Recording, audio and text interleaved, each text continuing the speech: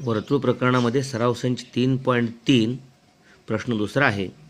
आकृतीमध्ये त्रिकोण Q R S संभुज त्रिकोण आहे.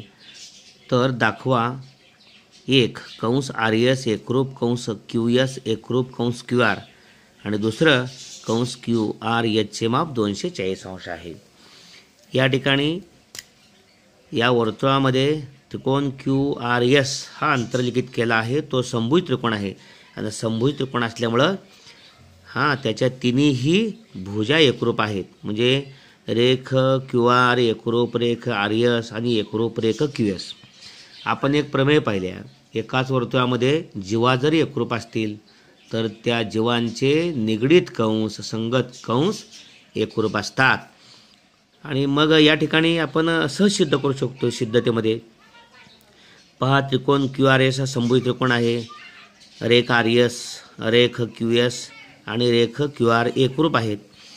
आणि मग आर एस संदर्भात आर एस या जीवेच्या संदर्भात निगडीत कंस आहे? कंस आर एस क्यू एस या जीवेशी निगडीत कंस आहे.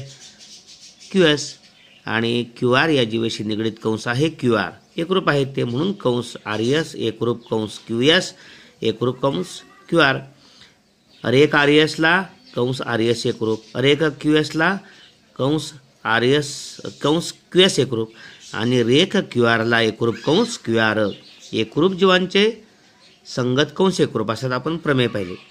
आता या ठिकाणी हे तिन्ही जे कंस आहेत मग माप कंस आर एस असो अधिक माप कंस क्यू एस अधिक मांस माप कंस क्यू आर हे तिन्हीच्या तिन्ही कंस आहेत. त्या तिन्हीच्या तिन्ही कंसाने मिळून तयार अगदी बरोबर एक वर्तुळ होते. आणि वर्तुळ कंसाचे माप तीनशे साठ अंश असते. म्हणजे तिन्हीच्या तिन्ही कंस हे एकरूप आहेत. त्या तिघांची बेरीज तीनशे साठ आहे. मग एकाची तिप्पट केली तर चालणार. ओके कोणाची पण तिप्पट करा. ठीक आहे आपण या ठिकाणी आर एसची तिप्पट करूया.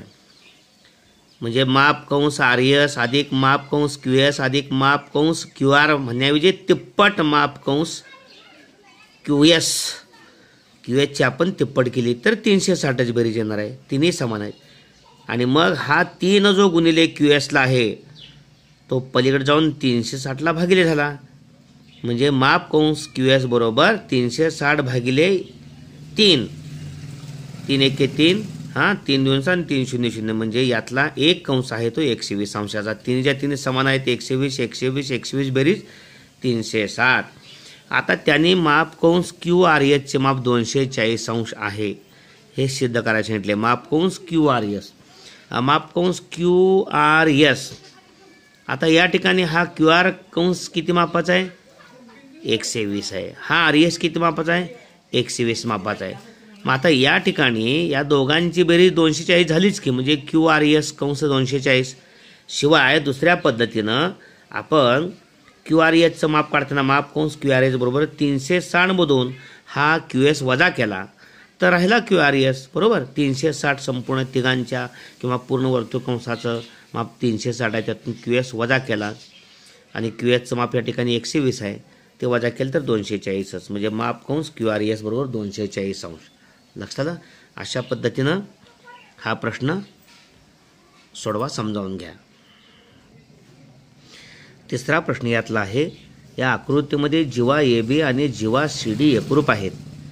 तर सिद्ध करा कंस ए सी एकरूप कंस बी डी कंस ए सी एकरूप कंस बी डी. आता या ठिकाणी सिद्ध करताना आपण पक्ष दिलेल्या बाबी जीवा ए बी आणि जीवा सी डी एकरूप आहेत. जीवा ए बी आणि जीवा सी डी एकरूप असतील तर साध्य कंस ए सी एकरूप कंस बी डी कंस ए सी एकरूप कंस बी डी. आता जेव्हा ए बी एकरूप जीवा सी डी असेल तर त्यांचे निगडीत कंस कोणते आहेत? ए बीचा कंस ए बी आणि सी डी जीवेचा कंस सी डी जेव्हा ए बीचा निगडीत कंस कंस ए बी आणि जीवा सी डीचा एकरूप कंस निगडीत कंस सी डी अगदी बरोबर आहे. म्हणजे या ठिकाणी माप जीवा ए बी एकरूप जीवा सी डी असेल तर निगडीत कंस त्यांचे तीच नावं माप कंस ए बी एकरूप माप कंस सी डी आता या ठिकाणी हा जो कंस ए बी आहे कंस ए बीमध्ये दोन कंस आहेत ए सी अधिक सी बी या दोघांची बेरीज माप कंस ए सी अधिक माप कंस सी बी आणि म- कंस सी डी माप कंस सी डीमध्ये दोन कंस आहेत सी बी अधिक बी डी म्हणजे माप कंस सी बी अधिक माप कंस बी डी म्हणजे एवढंच केली या ठिकाणी माप कंस ए बी बरोबर माप कंस ए सी अधिक माप कंस ए बी आणि पलीकडं माप कंस सी डीमध्ये माप कंस सी बी अधिक माप कंस बी डी ह्या दोघांमध्ये कोणता सामायिक कंस आहे अगदी बरोबर आहे. माप कंस सी बी आणि माप कंस. सी बी दोन्ही बाजूचा निघून गेला. राहिला काय? माप कंस ए सी बरोबर माप कंस बी डी. माप कंस ए सी बरोबर माप कंस बी डी. म्हणजे या दोन कंसांची मापे समान आहेत. म्हणजेच हे दोन कंस एक रुपयात कंस ए सी एक रूप कंस बी डी. अशा पद्धतीनं अत्यंत सोपा आहे हे दोन कंस एक रूप दाखवण्यासाठी. पुन्हा एकदा व्हिडिओ ऐका. फोटोकॉपी देतो. समजावून घ्या. धन्यवाद.